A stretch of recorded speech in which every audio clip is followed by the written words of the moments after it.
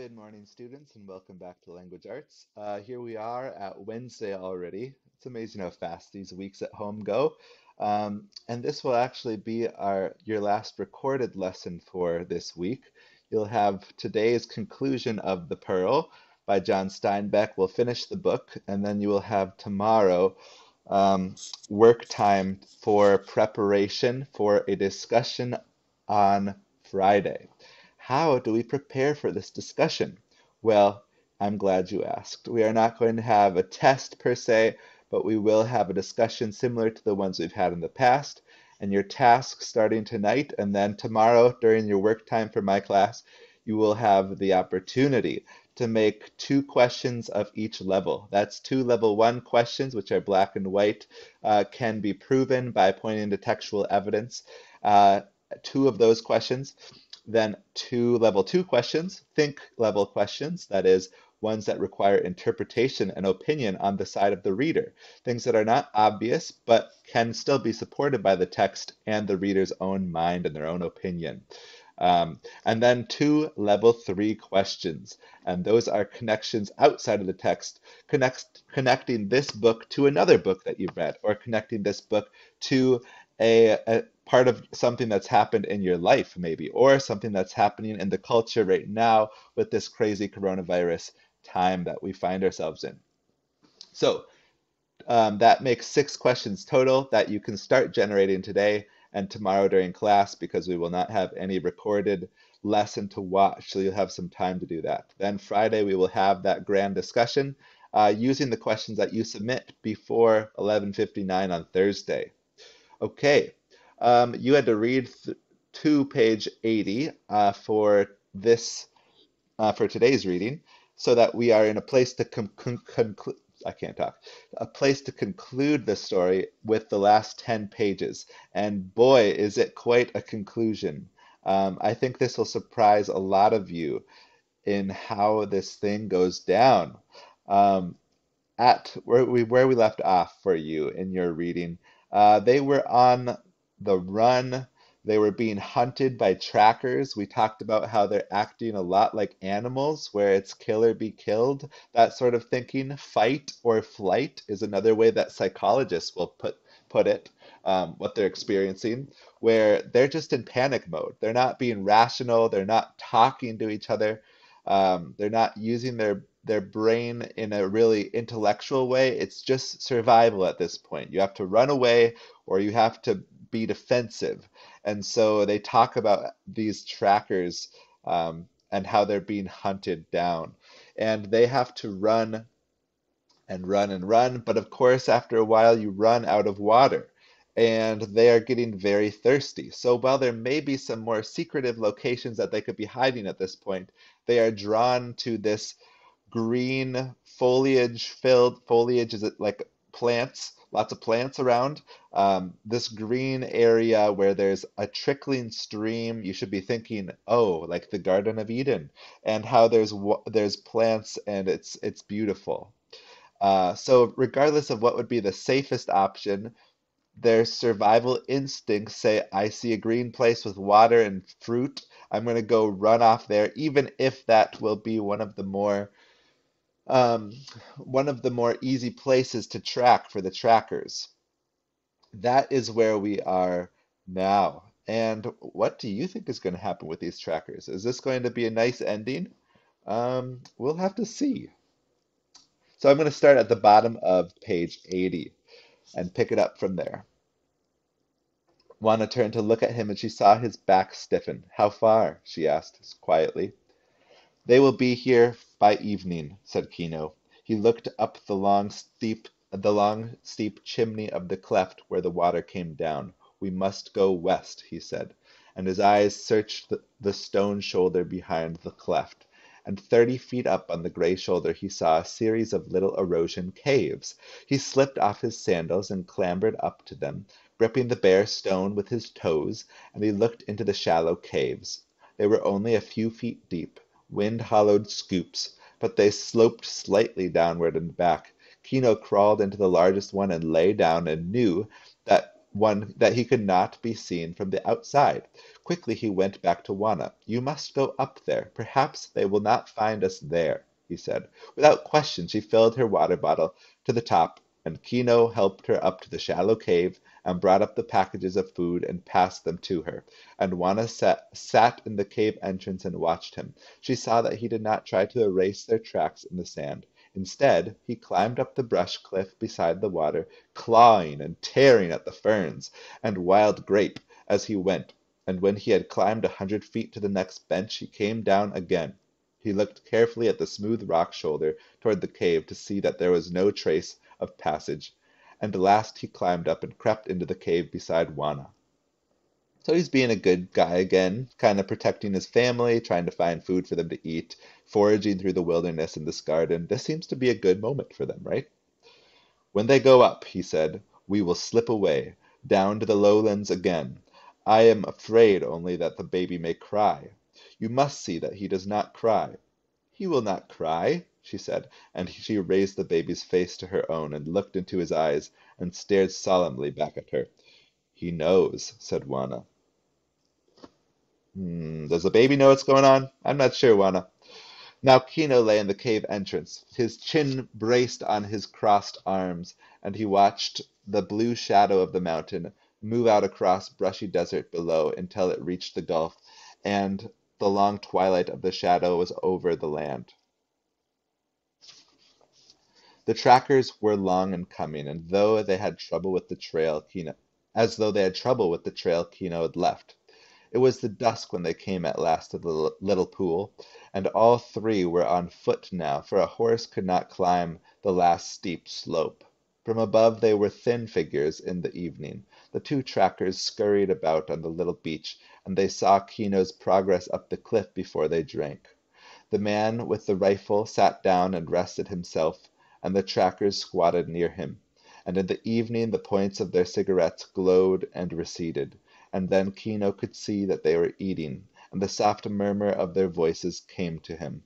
Then darkness fell, deep and black in the mountain cleft. The animals that used the pool came near and smelled uh, smelled men there and drifted away again into the darkness. He heard a murmur behind him. Juana was whispering, Coyotito. She was begging him to be quiet. Kino heard the baby whimper, and he knew from the muffled sounds that Juana had covered his head with her shawl. This is a bit freaky.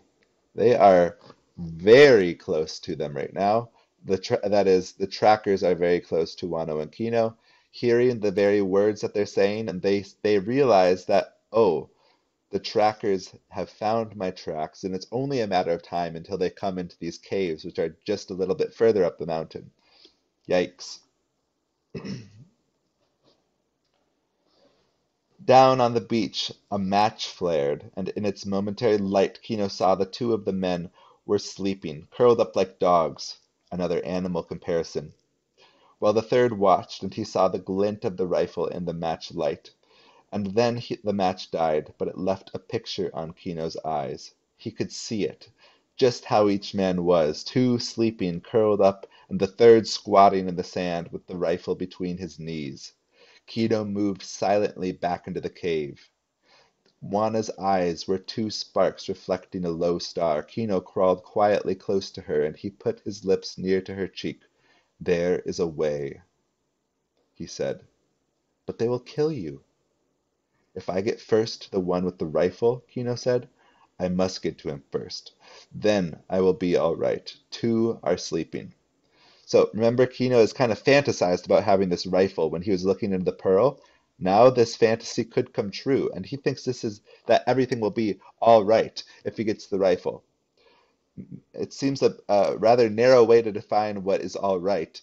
Uh, if you can, you can kind of infer what he's going to do with this rifle after he gets it. Is that all right? Hmm. Let's see. Um, two of them are sleep. Two are sleeping. Her hand crept out from under her shawl and gripped his arm. They will see your white clothes in the starlight. No, he said, and I must go before moonrise. He searched for a soft word, and then gave it up. If they kill me, he said, lie quietly, and when they are gone away, go to Loreto. Her hand shook a little, holding his wrist. "There is no choice," he said. "It is the only way. They will find us in the morning." Her voice trembled a little. "Go with God," she said. He peered closely at her, and he could see her large eyes. Who else says this line, "Go with God"?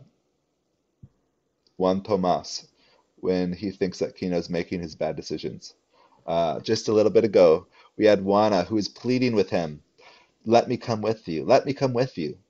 And he eventually relents and says, Okay, we'll stick together this time. Now he says, There's no other way. I'm going in. This is different this time. And she says, Go with God. Because she doesn't know what else to say to him at this point. Um, he peered closely at her, and he could see her large eyes. He, his hand fumbled out and found the baby, and for a moment his palm lay on Coyotito's head. And then Kino raised his hand and touched Juana's cheek, and she held her breath.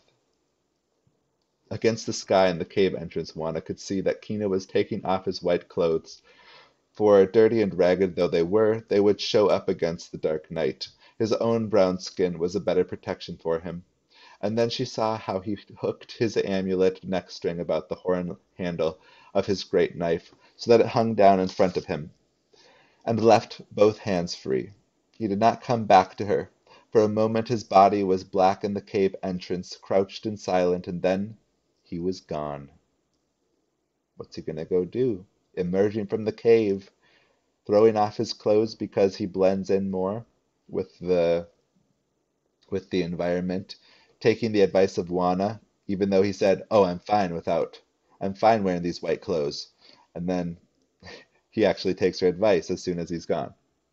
So he does respect her, just not to her face. Um, Juana moved to the entrance and looked out. She peered like an owl from the hole in the mountain, and the baby slept under the blanket on her back, his face turned sideways against her neck and shoulder. She could feel his warm breath against her skin, and Juana whispered her combination of prayer and magic, her Hail Marys and her ancient intercession against the black unhuman things. She did this before, remember, when, when Coyotito was uh, ill? She prays both to the Christian God and to the other gods of her earlier religion. The night seemed a little less dark when she looked out, and to the east there was a lightening in the sky, down near the horizon where the moon would show, and looking down she could see the cigarette of the man on watch. Kino edged like a slow lizard how many animal metaphors will there be? Down the smooth rock shoulder he had turned his neck string so that the great knife hung down from his back and could not clash against the stone. His, he, his spread fingers gripped the mountain, and his bare toes found the support through contact, and even the, his chest lay against the stone so that he would not slip. For any sound, a rolling pebble or a sigh, a little slip of fresh flesh on the rock, would rouse the watchers below. Any sound that was not germane to the night would make them alert. But the night was not silent. The little tree frogs that lived near the stream twittered like birds, and the high metallic ringing of the cicadas filled the mountain cleft, and Kino's own music was in his head, the music of the enemy, low and pulsing, nearly asleep, but the song of the family had become as fierce and sharp and feline as the snarl of a female puma.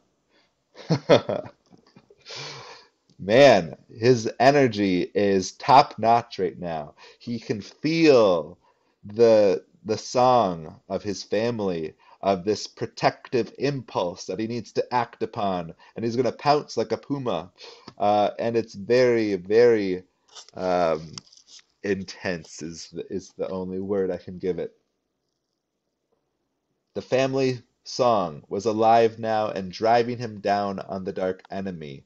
The harsh cicada seemed to take up its melody, and the twittering tree, tree frogs called little phrases of it and Kino crept silently as a shadow down the smooth mountain face. One bare foot moved a few inches, and the toes touched in the stone and gripped, and the other foot a few inches, and then the palm of one hand a little downward, and then the other hand, until the whole body, without seeming to move, had moved. Kino's mouth was open so that even his breath would make no sound, for he knew that he was not invisible.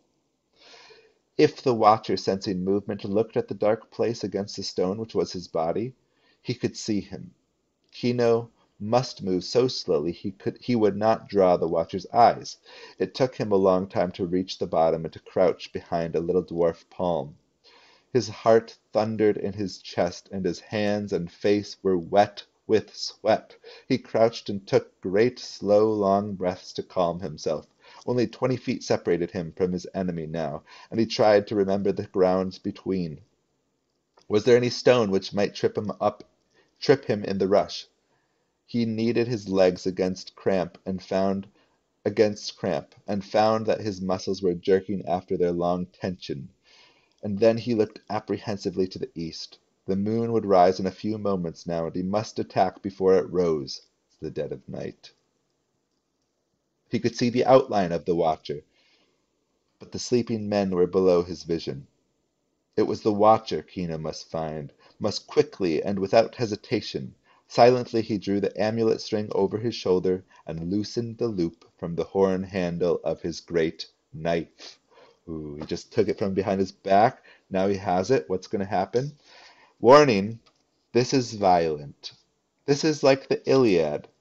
Um, it'll be gone quickly, but maybe you want to fast forward like a minute of this video. You have my permission if you do not like to read about this, which is totally understandable.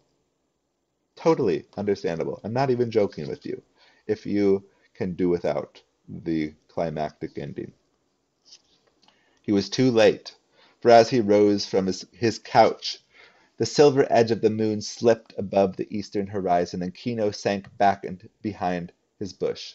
It was an old and ragged moon, but it threw hard light and hard shadow into the mountain cleft, and now Kino could see the seated figure of the watcher on the little beach beside the pool. The watcher gazed full at the moon, and then he lighted another cigarette, and the match illumined his dark face for a moment. There could be no waiting now. When the watcher turned his head, Kino must leap. His legs were as tight as wound springs. Think of a wound up spring. And then it just launches. And then from above came a little murmur, murmuring cry.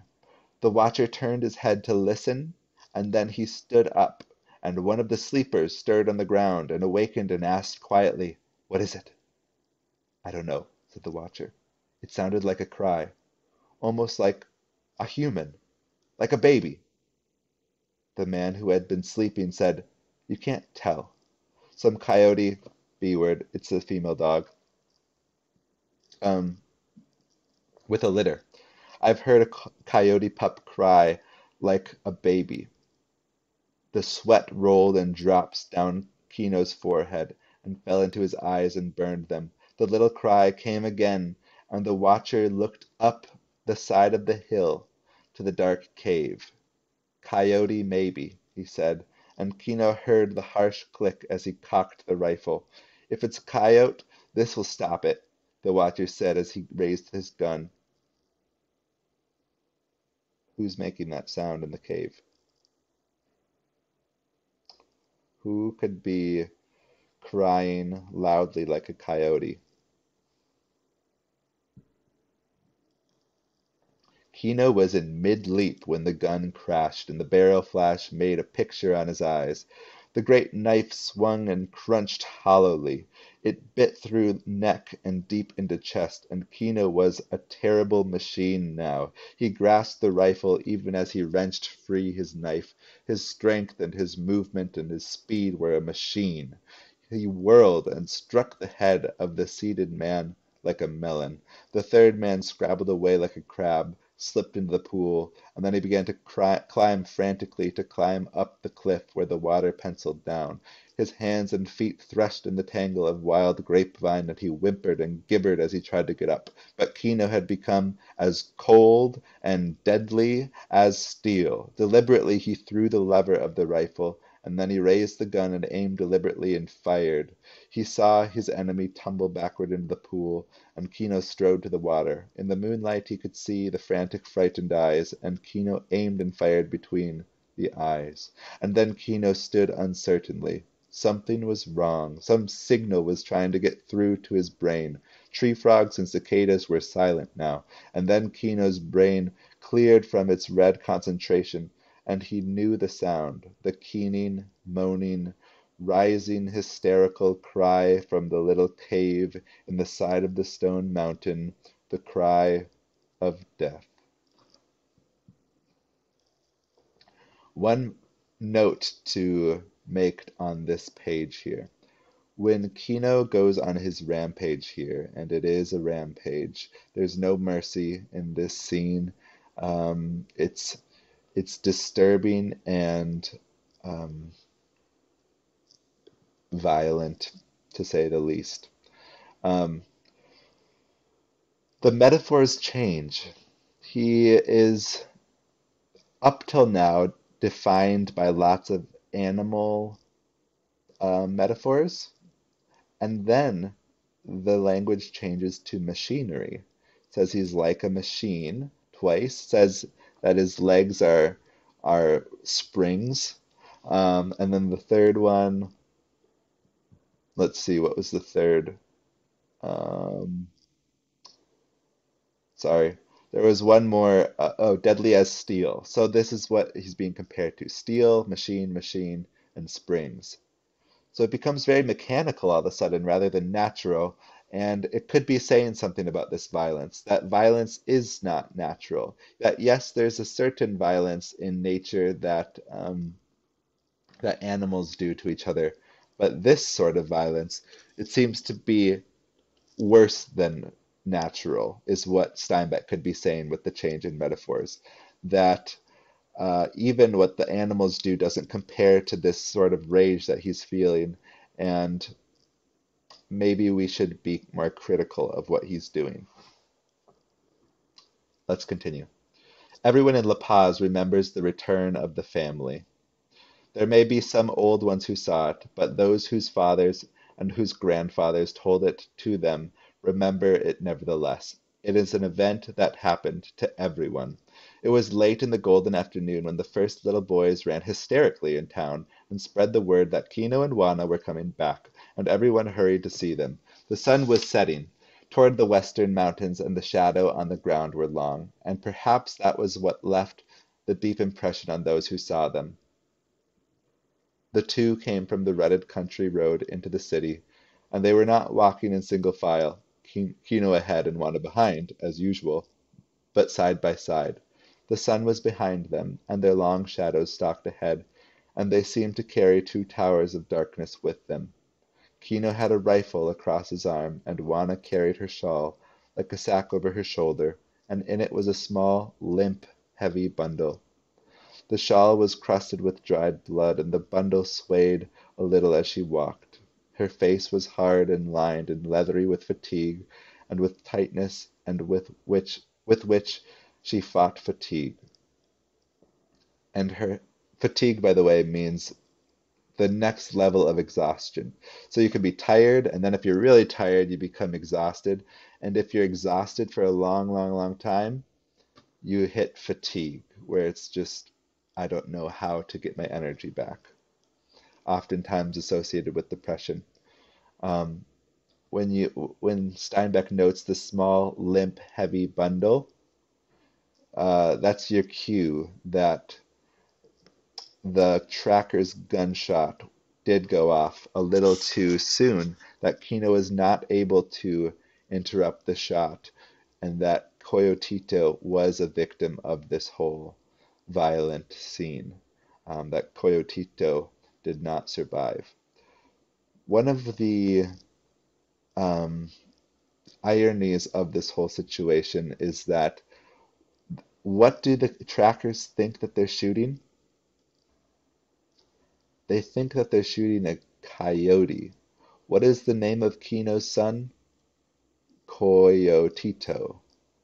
Coyote, Coyotito, the same name. Uh, Coyotito is just another way of saying Little Coyote.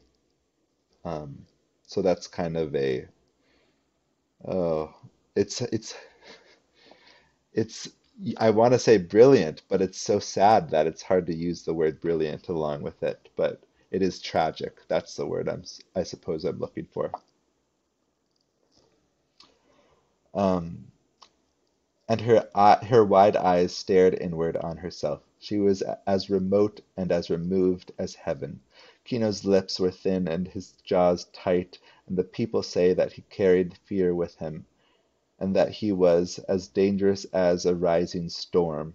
The people say that the two seemed to be removed from human experience, that they had gone through pain and had come out on the other side, that there was almost a magical protection about them, and that and those people who had rushed to see them crowded back and let them pass and did not speak to them. Kino and Juana walked through the city as though it were not there. Their eyes glanced neither right nor left, up nor down, but stared only straight ahead. Their legs moved a little jerkily, like um, like well-made wooden dolls, and they carried pillars of black fear about them and as they walked through the stone and plaster city brokers peered at them from barred windows and servants put one eye to a slitted gate and mothers turned the faces of their youngest children in, inward against their skirts. Kino and Juana strode side by side through the stone and plaster city and down among the brush houses, and the neighbors stood back and let them pass. Juan Tomas raised his hand in greeting, and did not say the greeting, and left his hand in the air for a moment uncertainly. In Kino's ears the song of the family was as fierce as a cry. He was immune and terrible, and his song had become a battle cry. They trudged past the burned square where their house had been, without even looking at it. They cleared the brush that edged the beach, and picked their way down the shore toward the water. And they did not look toward Kino's broken canoe. And when they came to the water's edge they stopped and stared out over the gulf, and then Kino laid the rifle down and he dug among his clothes, and then he held the great pearl in his hand. He looked into its surface and it was gray and ulcerous. Evil faces peered from it into his eyes and he saw the light of burning. So ulcer is like a an infection kind of to your body um, that you have to, that's causing your body great pain. So when he compares the pearl to this, it means that the pearl is causing him great pain and he medically has to get it removed. um, Evil faces peered from it into his eyes, and he saw the light of burning, and in the surface of the pearl he saw the frantic eyes of the man in the pool, and in the surface of the pearl he saw Coyotito lying in the little cave with the top of his head shot away, and the pearl was ugly. It was gray like a malignant growth. Again, another medical uh, metaphor of or simile of something that needs to be removed that is uh, hurting the body, malignant, that means if you have a tumor or something, it would be it, tumors are considered benign, meaning they're not harming your body, or malignant, which means they're endangering your body and they need to be removed again. And Kino heard the music of the pearl, distorted and insane. Kino's hand shook a little, and he turned slowly to Juana and held the pearl out to her. She stood beside him, still holding her dead bundle over her shoulder. She looked at the pearl in his hand for a moment, and then she looked into Kino's eyes and said softly, No, you. And Kino drew back his arm and flung the pearl with all his might. Kino and Juana watched it go, winking and glimmering under the setting sun. They saw the little splash in the distance, and they stood side by side watching the place for a long time and the pearl settled into the lovely green water and dropped toward the bottom. The waving branches of the algae called to it and beckoned to it. The lights on its surface were green and lovely. It settled down to the sand bottom among the fern-like plants. Above the surface of the water was a green mirror, and the pearl lay on the floor of the sea. A crab scampering over the bottom raised a little cloud of sand and when it settled the pearl was gone, and the music of the pearl drifted to a whisper and disappeared.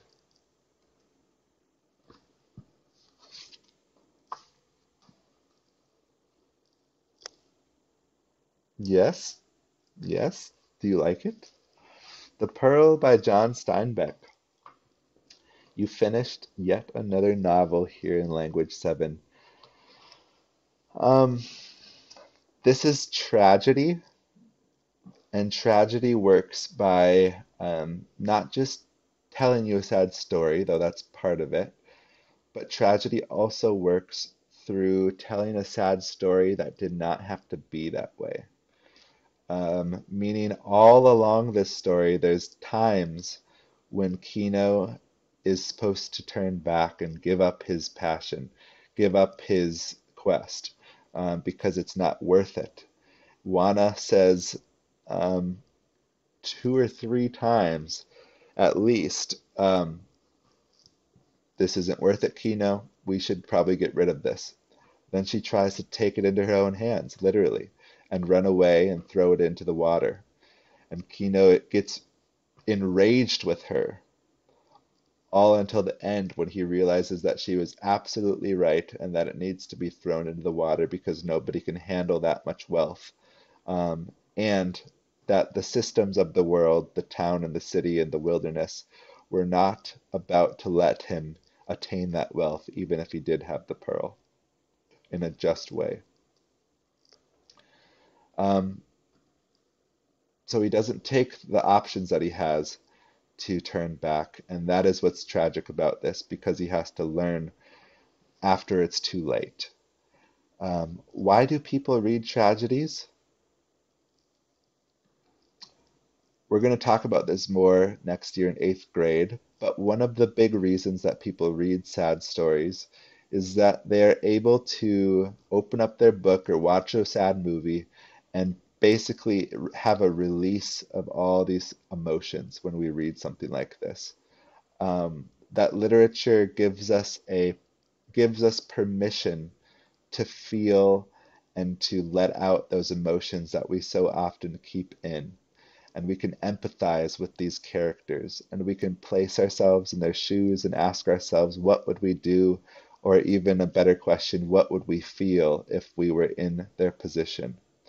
Um, and then when you close the book, as we just did, you're left to think about those feelings and you're left to think, how can I go about my life in a different way? Um, how can I learn from this and empathize with people who have faced tragedy?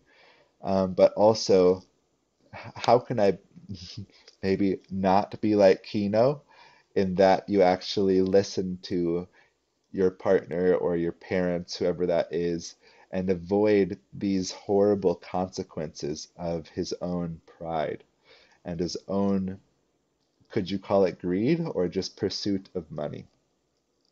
This is going a few minutes over what we normally do, um, but again, we will not have a video recording for tomorrow, which means during that time tomorrow, you need to be coming up with two questions of each level. So two level one, two level two, and two level three questions for our discussion of the end of the book on Friday's seminar.